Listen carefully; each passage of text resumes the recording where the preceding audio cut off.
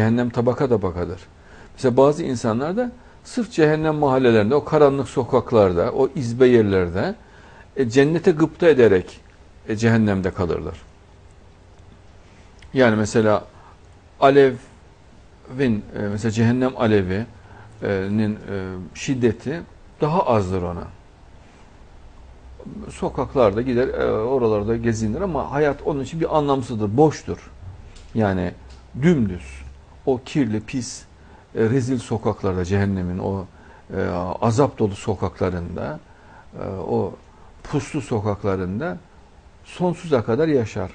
Ve sürekli cenneti görerek onun hasretiyle yanar ve onun acısını çeker. Cehennem derece derecedir. Yani bazı yerler mesela sadece pis sokaklar ve karanlık sokaklar, sadece kavgalar, e, bir mm, acılar, e, rahatsızlıklar, pis yiyecekler tarzındadır. Ama bazı yerler mesela münafıkların olduğu yerler çok şiddetli azap uygulanan yerlerdir.